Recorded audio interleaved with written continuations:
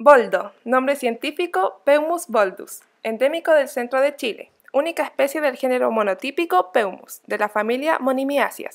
De tamaño mediano, puede superar los 15 metros de altura y tiene follaje perenne. Florece en agosto y septiembre en su hábitat nativo. Sus frutos son drupas de tamaño pequeño, color verde y sabor dulce.